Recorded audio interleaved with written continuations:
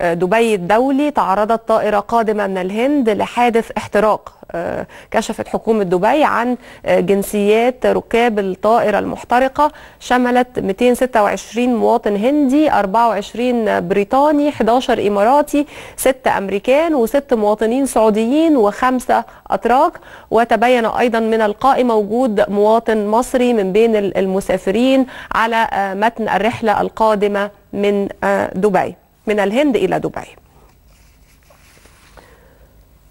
طيب الكاتب الصحفي رضا هلال مدير مكتب جريدة الأخبار في دبي. أهلا بحضرتك أستاذ رضا. أهلا بيك. الوضع إيه دلوقتي في مطار دبي؟ حركة الطيران عادت طبيعية. وبدأت الساعة 6:30 بتوقيت دبي 4:30 بتوقيت القاهرة بشكل طبيعي وتم إعادة جدوله الرحلات. إذا رجعنا للحادث نفسه فحادث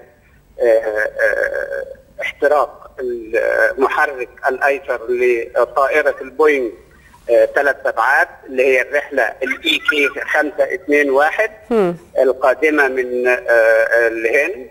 وعلى متنها 282 راكب. زي ما حضرتك قلتي آه اتحرق إزاي يا أستاذ رضا؟ يعني آه, آه أنا قلت الأرقام كلها. اللي حضرتك بتقول حادث احتراق في محرك الطائرة.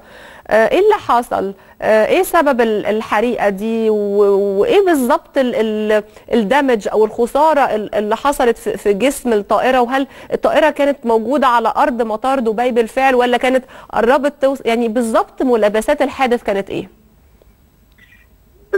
تحديدا يعني وحسب ما اظهرت الصور الملتقطة اللي هي الكاميرات التلفزيونية اللي اللي بتصور طبعا في المطار م. إن الحادث وقع 12 45 ظهرا وكانت الطياره على المدرج رقم 12 في المبنى رقم 3 في مطار دبي الحادث وقع قبل أن تقف الطائرة يعني بثواني معدودة وهي يعني أعتقد عشرات الأمتار بينها وبين الموقف بتاعها بالضبط. بدأت النيران بشكل بسيط في المحرك الأيسر وهي على الأرض تمشي. وهي ماشية علشان تقف خلاص. وهي ماشية قبل وقوفها بدقائق بتاعك مش واضح زميلتي انت بس. طب اتفضل أنا سامع حضرتك. آه. فرق الإنقاذ وإدارة الأزمة تحركت بأقصى سرعة وتم إخلاء الركاب في مدة لم تتجاوز الدقيقة ونصف الدقيقة.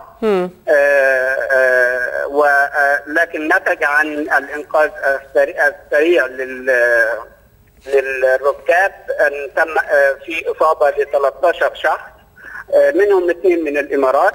في إصابات في الركاب. حضرتك بتقولي في إصابات. وخرجوا مباشرة. في إصابات في الركاب حضرتك بتقول. نعم 13 إصابة. آه إصابات طفيفة ولا إصابات بالغة؟ لا لا إصابات طفيفة من جراء سرعة إنقاذ و... آه. واخلاء الركاب من الطائره أيوه آه.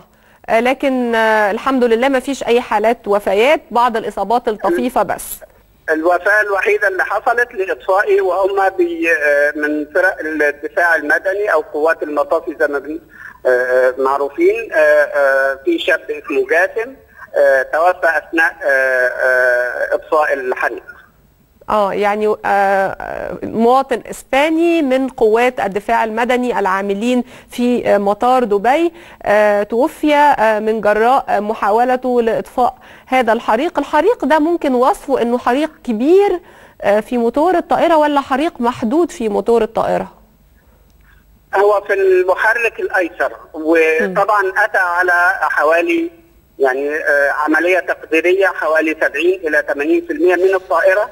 بعد انقاذها لأن بعد إنقاذ الركاب شب الحريق يعني في مقدمة الطائرة وأتى على كثير من محتوياتها وخصوصا الجزء الأعلى في الطائرة. طيب أشكرك شكرا جزيلا من دبي الأستاذ رضا هلال مدير مكتب الأخبار